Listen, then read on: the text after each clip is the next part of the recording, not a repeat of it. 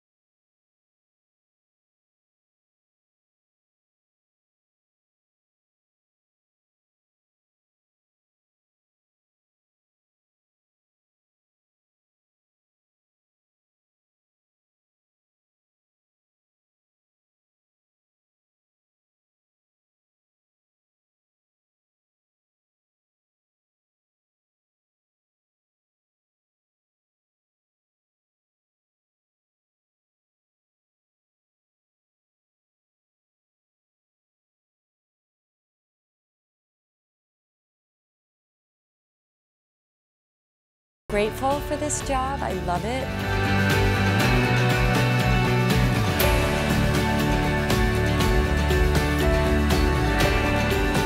It's such a gift for me to be connected with these brilliant people.